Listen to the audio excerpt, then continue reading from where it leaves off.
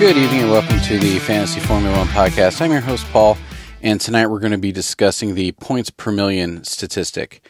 And uh, for anybody uninitiated, the points per million is the great equalizer. It's the it's the stat that we can use to treat all drivers equal, and it kind of balances things out, um, especially when it comes to the price cap and how how much money each driver is worth and, and stuff like that. So if you know a lot about statistics and you're very comfortable with the points per million uh, aspect of fantasy Formula One, then go ahead and skip on to the next podcast. Uh, this will just be a review for you, so you don't need to listen to it. But if unless if you're not a mathematician and you want to know the math behind how we get the uh, points per million stat, then go ahead and, and hang out. So, the points per million, it is a way to judge a driver's value, uh, taking into account the money aspect of it. Because again, if you look at previous podcasts, the the thing that makes fantasy Formula One unique among most fantasy sports is that there is a price cap. Each, at least in the 2023 season, each uh, team had a hundred million dollars price cap. Again, don't worry about the million. It could be pennies, it could be dollars, it could be whatever. It doesn't matter. It could be potato chips but it's a hundred million a uh, hundred million units or a hundred units. Now, you'll have some drivers that, again, for this example, I like to use round numbers just so we get it. So you'll have some drivers that might be worth 20 units or 20 million, and other drivers that might be worth 5 million. Well, how do you know which is a better value? Because you, if you're going to spend 20 units or 20 million dollars on a driver, well, that's five. That's what twenty percent of your budget, right? You have hundred units and you spend twenty of them on one driver. That's twenty percent. So you better get a lot of points for that. And if you have another driver that's only five percent, or you know, five million units or five units, uh, then then you can expect you probably won't expect as many points, but you still want to get something back. And the way we kind of figure all this out is by assigning a points per million uh, aspect to each driver, a value to each driver, and it's really it's not too it's not too crazy. So, let's say you take um, a driver, and you can do this with any sport. Okay, it's like, like it's very common with let's say basketball or any any sport where you have points and multiple games and you get points. So, if in a game you average you get 50 points total of over 10 games, right? So you've played 10 games and you have 50 points. Some games you got more, some games you got less, but at the end of 10 games, you have 50 points. Well, then to figure out your average points per rate, per game, per event, per race, you take your 50 and divide it by the number of races or games or whatever that you played. Well, because I like my round numbers for this example, 50 divided by 50 points divided by 10 games gives you five. So if you could take your 50 points and you had 10 little buckets, you would put five points in each bucket to get that uh, that even number across all your games. And now, and this is good and this is bad, right? Because it does take into account when we look at a driver, like, okay, cool, on average, they get five points a game. Well, they might not, though. Some games, know, if, if I come in and I'm I get one point this game and I get nine points this game, well, yeah, if I keep getting one and then nine, then one and then nine, at the end of ten games, I'm going to have fifty. But it doesn't tell you if like it's a huge gamble to have me on your team because I might get do horribly or I might do really well. Like you just don't know. So th- this points per million doesn't tell the whole story, and that'll be the uh, cru- that's a crux of some of the info we're going to be getting into later. But um, so, but for the math part of it, again, I, I, digress a lot, but for the math part of it, you have your 50 points over 10 races. 50 points divided by 50 divided by 10 gives you five points per race. Then you go and do it again and divide it by the number of millions or your value of your driver in millions. So, I have my little notes here to make sure I don't goof up my example. So, now that you have five points per race divided by $5 million value or $20 million value or whatever, that gives you, again, for this example, you have five points per race divided by $5 million. That's 5 over 5 or 1 over 1 or 1, which gives you one uh, point per million dollars that you spend. So why is this good and why is this important? Well, as soon as you have a a driver valued at five million who only brings in five five points a race ppm, well, they're going to be valued at one. And as soon as you have a driver that's worth twenty million, well, then they need to be bringing in twenty points a race to have the same points per million average. So it's not to say that you still don't want those higher value uh, drivers, those higher value teams on your team. But what it means is you can have somebody who is relatively inexpensive and still brings in, you know, a solid points per million, and there's still somebody you want to have on your team. Where this does fail you is uh, there's a couple statistical anomalies. One of them is called regression towards the mean. Fancy word to say that eventually the, it always averages out. All right and you see this in the uh, in the race results from last year. They're saying that uh, so. Here's an example: if I if I race hundred races or I play hundred games, then eventually my average will be let's say five points a game, like we're saying. Well, then if I if I on my hundred and first game, if I do really well, or if I on my hundred and first game I do really poor, my average won't change because the there's so many samples, there's so many games in the in the in the, in the set that we're we're averaging out that the waves kind of level out and whether you do well or whether you do bad it really doesn't change your numbers and you see this towards the end of the race especially for like drivers like Max Verstappen where as soon as they do really well as soon as they do really poor it doesn't change your points per million value much right um, and so that's regression to the mean. And this whole topic of regression to the mean is one of the reasons I got into this podcast in the first place. And that's because Fantasy F1, they didn't change their algorithm. So the stats they were putting on the website were incorrect when it came to certain drivers. And I'll go into that in a second. Actually, you know what? Forget it. We're going to go into it now. So, the, and I'm not saying they don't know how to do math. I'm saying that they didn't change their algorithm in preparation for doing this podcast, really in preparation for next year, I started taking their race results and started creating my own equations to come up and mimic their stats that they were putting out on their website based off of the pure race results. All right. In doing so, in doing that, I realized that I was getting much different numbers. I couldn't replicate, or let's say, I as soon as I started replicating numbers like Max Verstappen and, and Sergio Perez and all this, I was getting the right numbers. When it came to a few drivers in particular, I was not getting the right numbers. And let me pull up that spreadsheet. Where'd it go? Here it goes. I wasn't getting the right numbers. Come on, computer. There we go. And the reason why, so uh, for example, let, us go to this. So Daniel Ricciardo, if you look on the Fantasy Formula One website, let me find him. Where'd he go? Daniel Ricciardo, right there. Okay. So on the Fantasy Formula One website, at the end of the season, they had him at a 0.4 ppm. So 0.4 points per million dollars spent. He was a very uh, inex- he was a very cheap driver. The end of his year cost is uh, due to do 5.5 million, which means he had gone up. He started, I think, 4.5, but he was doing pretty well. He ended at 5.5. Fine. So do all of that math, and uh, it didn't line up. And the reason why is, I believe, F1 had the exact same algorithm for all the drivers, meaning they take all the drivers' total points, divide it by whatever round of race they're doing.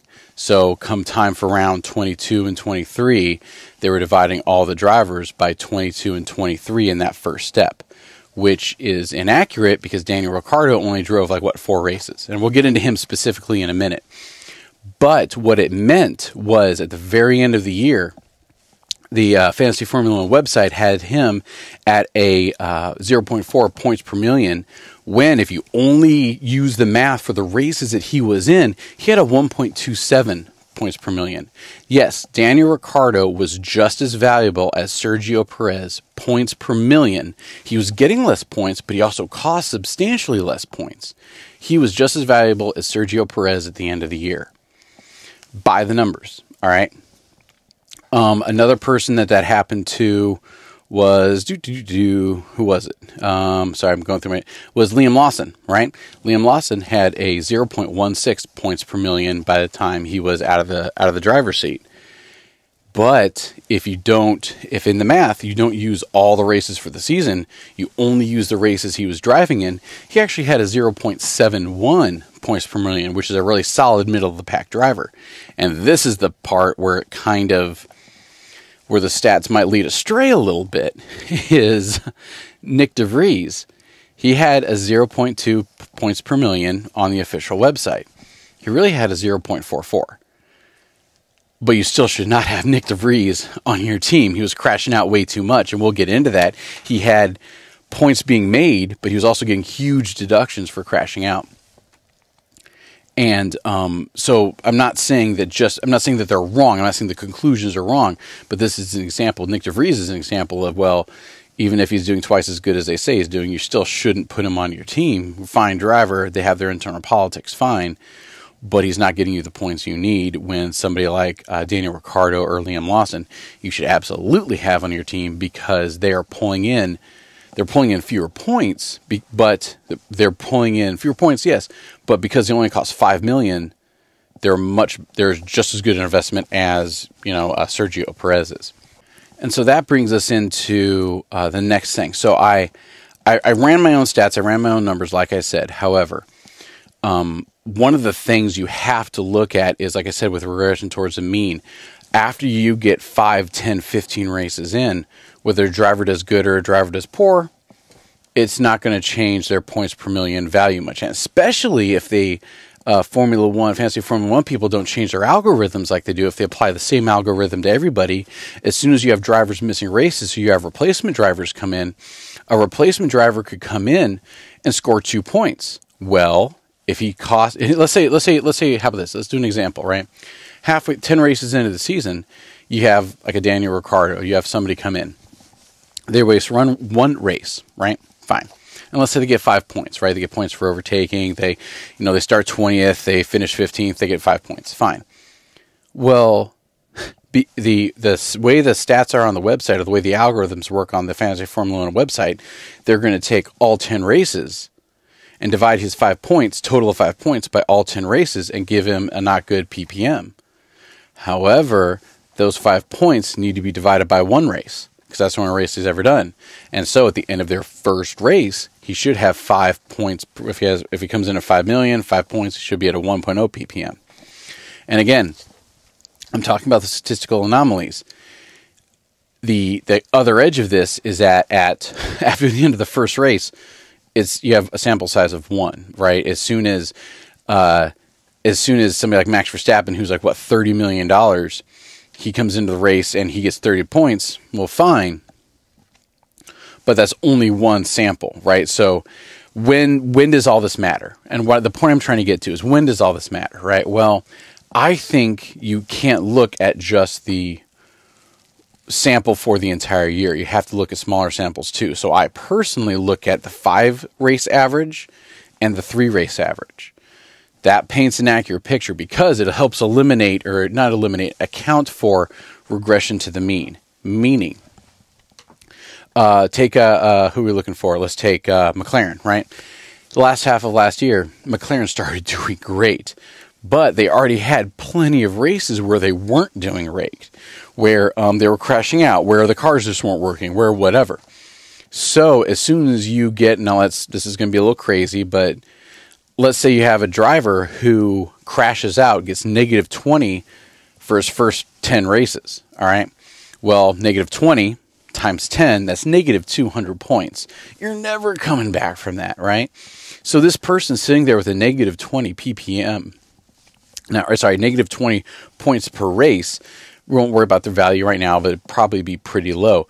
So after those 10 races, let's say they change it all around. Well, now, let's say they get 10 points, positive 10 points for their 11th race. Negative 200 to zero, then it goes to the next one, negative 200 to positive 10. That's not enough to impact their points per million. It genuinely, truly isn't. Statistically, when you look at the sheet, they are going to be a horrible driver for the rest of the year because you can't come back from that sort of deficit.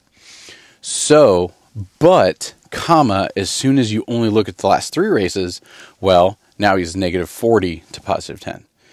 And as you keep going, as they keep getting those 10s and 10s, if you look at smaller pictures, eventually you're going to eliminate the mistakes they made months ago and you're just going to be looking at what they're doing currently. The problem is, again, with a smaller sample size, is that it's very easy. And I'm trying to think of an example. Let's look at uh, uh, who am I thinking about? Um, well, let's say you have a great like Sergio Perez, right? In his home race in Mexico, he crashes out turn one, lap one. Well, if you're only worried about the three races, like in the in the past, well, he had one he crashed out a third of the races. Well, no, he didn't. All right, those were extenuating circumstances. We're going to get into turn one, lap one uh, DNFs here in a later episode, but you can't really hold that against him. But some drivers you can if it start, you know, and so it just kind of depends on on what you're on what you're looking for. But the to to summarize the points per million as they have it here, it's fine, but it doesn't tell the whole story. The algorithm they used last year is flawed, and it doesn't account for people doing well when the previous season, the previous first half of the season, say for this example, is weighting them down. But it also doesn't help for people like uh, Aston Martin last year. They were doing great, they were doing wonderful, and then they couldn't get it together to save them the last half of the year. It hails both Lance Stroll and Fernando Alonso as being some of the best valued players for the entire year. Well, no, not if you look at the last half of the season. They absolutely were not. They did so well in the first half. They could start taking attrition in the second half and still do well, and still do well statistically. But shoot, if you had Fernando Alonso on your team uh, during that gap when they weren't doing well, you know, just like if you had McLaren on your team when they weren't doing well at the beginning of the season, you shouldn't do it. But then, as soon as you look and see them start trending one direction or trending another, you can go ahead and get on that power band early or hop off the power band early and not make the mistake I made, you know, hanging out with drivers that you shouldn't into race four and, you know, suffering the consequences after that. Um, so, talk, so we are going to be looking at to sum up. We're going to be looking at my own algorithms that take into account the number of races that drivers actually race. And and and in FIA's defense, like I'm I'm not condemning them or condemning their math. I promise there was no one behind this math. They came up with the equation to and applied it to all the drivers. Who would have thought that there was going to be drivers in, drivers out, drivers off, drivers in, whatever. And they just didn't adjust it because it'd probably be way too much, or they just didn't think to which is why you have people like me who geek out and enjoy watching and enjoy doing math. And I will say that about uh, this entire process for all you kids out there who think, man, I'm never going to use math again. Once I get out of the, you know, once I get out of school, who's ever going to use statistics or whatever? Well, and I believe that I got C's in calculus and calculus-based physics, but I was able to come up with these equations to do stats for F1. You never know when it's going to be uh, going to be a huge use for you. Um, so for going forward, as we get into all these driver bios, I just want to kind of shed some light about some of this math that we're going to be doing. We're going to be doing the uh, calculating our own PPMs. I'm going to be adjusting some of them because uh, some of their algorithms are wrong. We're going to be looking at three race averages. We're going to be looking at five race averages. So we're finally out of the math. We're going to go ahead and start digging into the uh, racer bios. Cheers.